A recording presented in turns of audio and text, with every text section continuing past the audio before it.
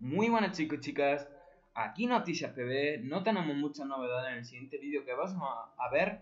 Vamos a ver los últimos cambios de balance a los campeones y también revierten cambios de los nuevos objetos que vimos previamente y además eh, cositas que veremos a continuación.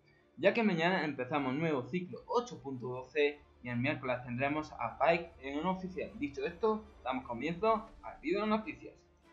Vamos a empezar con los cambios eh, revertidos a campeones. Bolívar a base de revertido de 66 a 68, Sivana de 64 a 66, Diana de AD eh, 51 a 53,04. Vamos a Elise, la velocidad de movimiento base de humana revertida de 330 a 325, la velocidad de movimiento base de la araña revertida de 355 a 350, la W el daño revertido de 60 a 240 a 55 215. Continuamos por Anivia. La Q el enfriamiento bajó de 12, 8 a 10, 8. La relación de la Q de AP aumentó de 40 a 45%. Continuamos por Grey. Base de AD bajó de 69 a 66. La Ultimate, el daño, el enfriamiento, perdonad, aumentó de 110, 60 a 120, 60. Continuamos por Rakan, la Q, la curación bajada de 22, 5, 150 a 18, 120. El escudo, la E, bajó de 50 a 150 a 40, 140.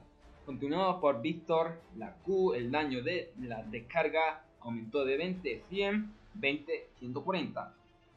El AP de la Ultimate aumentó de 60 a 70%. Sin Sao, AD por nivel bajado de 3,3 a 3.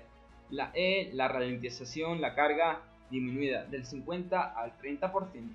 Cira, la E, la duración de la raíz aumentó de 0,75, 1,75 últimos niveles a 1,2. Vamos a pasar con los artículos.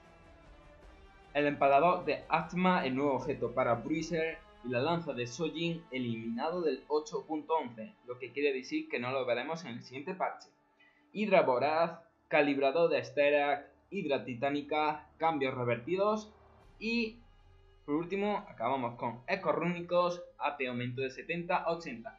Y nada más, esto ha sido el vídeo de noticia bastante corto, ya que acabamos con este ciclo 8.11. Lo dicho, si os ha gustado ya sabéis que podéis dejar un gran like, comentar y nada más, nos veremos en el siguiente vídeo. No olvidéis de suscribirse al canal para estar tanto en la nueva de League of Legends y ahora sí me despido. Hasta la próxima.